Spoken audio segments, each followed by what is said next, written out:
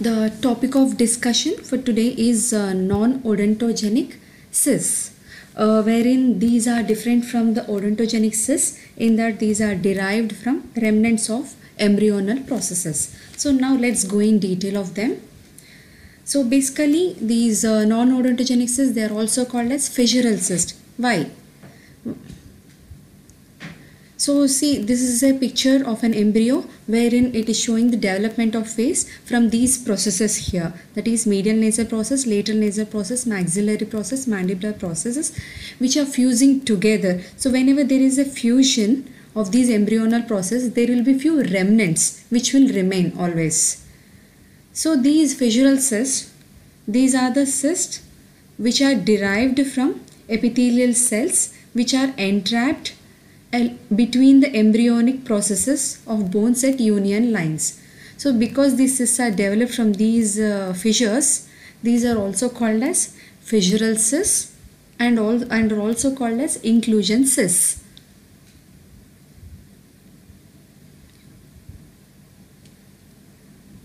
So now going on into the classification. How do we classify these non-odontogenic cysts? So they are classified based on their location that is whether they either they are in the bone or whether they are in the soft tissue. So likewise we have intraosseous cysts that is which are present within the bone and we have extraosseous cysts which are present within the soft tissue. Under intraosseous cysts we have nasopalatine duct cyst, median palatine cyst, globulomaxillary cyst and median mandibular cyst. Under extraosseous cysts or soft tissue cysts, we have palatine, palatal cysts of newborn, nasolabial cysts, thyroglossal duct cysts, oral lymphoepithelial cyst and epidermoid cyst. Now let's go into detail of each cyst. So firstly we will see about nasopalatine duct cyst. So this nasopalatine duct cyst it is the most common of all these non-odontogenic ones which is present in the midline of anterior maxilla. Now here is a picture which is showing the location of an incisive canal. So the basically the nasopalatine duct it is present within this incisive canal and it is formed during palate formation. So usually it will undergo progressive degeneration later on but sometimes there will be persistence of few epithelial remnants. So these epithelial remnants they become the source of epithelium to give rise to nasopalatine duct cyst. So these are the cells which will proliferate to produce this duct cyst. So how does it appear clinically? That is clinical features.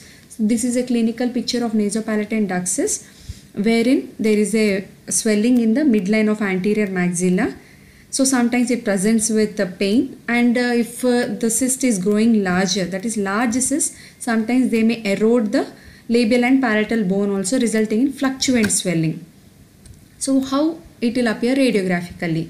There is a well circumscribed radiolucency in or near the midline of anterior maxilla between the central incisors like in this picture. Usually it shows a classical heart shaped radiolucency. Can you see this? there is a heart shaped radiolucency. Sometimes it can be round or oval also. And histopathologically, nasopalatine duct cyst, it shows highly variable epithelial lining. So here is a uh, uh, cystic lining which is pointing to the cystic lining. So this it this variable epithelial lining it depends upon the localization of the cyst. That is stratified squamous or it can be pseudocolumnar, it can be simple columnar whereas the connective tissue will show chronic inflammation and sometimes even the capsule shows small to moderate sized nerves, arteries and veins because of the presence of incisive canal and incisive nerves. So this is about nasopalatine duct cyst. Next moving on to the next one median palatine cyst. So how does this median palatine cyst? So here is a picture uh, which shows uh, secondary palate formation that is from the palatal shelves which are moving towards each other to fuse in the midline. So whenever these palatal shelves they fuse in the midline, there will be few epithelial cells which will be entrapped along the embryonic line of fusion. So the epithelial cells which are entrapped will become remnants and whenever these remnants they get stimulated it give rise to median palatine cyst. So median palatine cyst name itself shows. So where does it present clinically? It is present along the midline of hard palate and it is present as a firm and fluctuant swelling usually asymptomatic only. So even if you see radiographically also it, it uh, presents as well circumscribed radiolucency with sclerotic border usually in the midline of palate opposite to bicuspids and molars. Next cyst that is globulomaxillary cyst. Usually uh, this is a picture of uh, processes uh, on the near the maxilla wherein globulomaxillary cyst it is thought to arise at the junction of globular process of median nasal process and maxillary process like in this picture. So usually it will be asymptomatic only. So uh, this cyst it is present between the maxillary lateral incisors and canine teeth like here. Cyst is present between maxillary lateral incisors and canine. So radiographically if you see this uh, particular cyst it uh, characteristically it shows an inverted pear shaped radiolucency like in this picture between the roots of lateral incisor and canine usually causing the divergence of roots of these teeth. You can see the divergence of the roots and these teeth will be vital in nature. Here also the cyst will be lined by stratified squamous epithelium only. Next moving on to median mandibular cyst. It is a very very rare cyst. Usually it occurs in the midline of the mandible like uh, in the name and there are various theories which are proposed. The first theory is that it is formed from epithelial remnants which are entrapped in the median mandibular fissure during fusion of bilateral mandibular arches. So this epithelial remnants along median mandibular fissure theory, it is disapproved by many. Why? Because mandible usually develops as a single bilobed mesenchymal proliferation. That means there is no fusion, it is a single bone. As there is no fusion, there is no there are no epithelial remnants. That means there is no median mandibular cyst itself. So what is this cyst basically? So some other authors have given other theories like it is an odontogenic cyst itself which is formed due to cystic degeneration of enamel organ of any supernumerary tooth. Some authors told that it is a lateral periodontal cyst which is arising in midline.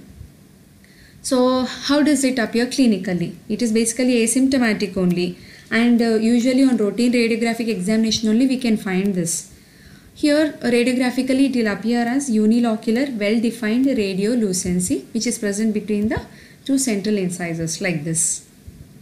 So this is about median mandibular cyst. Next moving on to soft tissue cyst or extraosseous cyst. The first one is palatal cyst of newborn. So there are two things under this that is Epstein pearls and Bohn's nodules which have different different uh, origin. So firstly we'll see Epstein pearls. Uh, you remember uh, talking about median uh, median palatine cyst wherein uh, palatal shelves they fuse together to form uh, secondary palate right? So wherein epithelial remnants are formed. It is the same way even here epstein pearls are formed from these epithelial remnants. The main difference is that here it is a soft tissue cyst whereas in case of median palatine cyst it is a hard tissue cyst so this is about Epstein pearls. Next we'll see Bohn's nodules. So in the hard palate and soft palate we can see numerous minor salivary glands. So during the development of these minor salivary glands if, while fusion there will be numerous remnants which are formed. So if at all from these remnants if there are any soft tissue cysts which are produced they are called as Bohn's nodules. So epithelial pearls are from palatal fusion. Bohn's nodules are from minor salivary gland remnants. So this is a picture of Epstein pearls wherein so Epstein pearls uh, they are present along the mid palatine raphe whereas Bohn's nodules they are present as soft papules along the uh, at multiple areas of the palate. So these will be present as yellow or white mucosal papules and with keratin filled cyst. So both Bohn's nodules and Epstein pearls will be yellow white mucosal papules only but the location will be different. Next cyst is nasolabial cyst which is also called as nasoalveolar cyst. It's also called as Klestadt's cyst. So it's a very rare fissural cyst which is formed along the junction of globular process of median nasal process, the lateral nasal process and the maxillary process. So here there are three processes. and uh, it is formed from the epithelium entrapped along this fusion line. So how does it appear clinically? So this is a clinical picture which shows a swelling of the upper lip lateral to the midline and it also results in the elevation of ala of the nose. As you can see there the ala of nose is elevated and it is present lateral to the midline. So how does it appear intraorally? So there will be obliteration of the vestibule as well as the maxillary mucobuccal fold.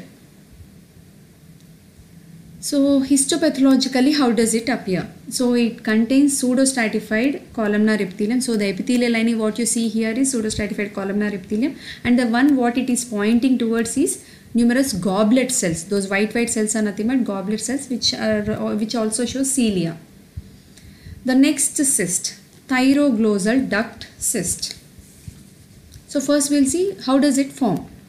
So during the development that is during third to fourth week of intrauterine life, thyroid gland develops in the floor of the pharyngeal gut. So but by seventh week this thyroid gland descends into the neck into its final resting position which is anterior to trachea and larynx. So the site where it descends uh, the later it becomes foramen cecum okay but along this path of descent there will be an epithelial tract or a duct which is formed maintaining an attachment to the base of the tongue which is thyroglossal duct. Like you can see in this picture that is a thyroglossal duct. This becomes intimately associated with the developing hyoid. But the thyroglossal duct epithelium normally undergoes atrophy but sometimes some remnants remain which later give rise to thyroglossal duct cyst so this is a picture showing uh, those red red dots which are uh, shown here. They are nothing but thyroglossal ducts which are formed from the remnants of this thyroglossal duct epithelium. So how does it appear clinically? So it appears as a midline neck mass at or below the level of hyoid bone. Usually this thyroglossal duct it moves up with the swallowing and sometimes it may show neck or throat pain and dysphagia also. And histopathologically these thyroglossal ducts they are lined by columnar or stratified squamous epithelium. So here it is columnar epithelium with cilia. And the connective tissue wall it shows uh, patches of thyroid tissue. So all these things they are nothing but they are thyroid follicles and sometimes mucous glands are also seen. So this is about thyroglossal ducts next we will go on into oral lymphoepithelial cyst Normally, oral cavity contains lymphoid tissue, principally in the form of Waldeyer's ring. So these are uh, which contains adenoids, tubal tonsils, palatine tonsils, lingual tonsil. All these form a Waldeyer's ring. Sometimes accessory lymphoid aggregates are also formed within floor of the mouth, ventral surface of the tongue, and soft palate. So this picture shows the Waldeyer's ring. So these lymphoid tissue they have a close relationship with the overlying mucosal epithelium. Whenever this epithelium develops invaginations into the tonsillar tissue, they result in blind pouches or tonsillar crypts which are filled with keratin debris. So oral epithelium making invaginations into these tonsillar tissues give rise to oral lymphoepithelial cysts. Clinically, how does they appear? They are movable, painless submucosal masses which are white or yellow because of the presence of keratinous material and most common sites will be floor of the mouth, ventral surface of the tongue, lateral border of the tongue, all these. And uh, histopathologically, we will see a keratin filled cyst. So this is keratin, the one which is pointing. Keratin filled cyst, it is surrounded by numerous lymphoid follicles. The second arrow represents the lymphoid follicles. So next moving on to a very rare cyst which is an epidermoid cyst. So usually this epidermoid cyst it is uh, formed by uh, sequestration as or uh, implantation of these uh, epithelial rests or it can be because of surgical implantation of the epithelium into the jaw mesenchyme also. So how does it appear clinically? They are basically very slow to progress and remain asymptomatic.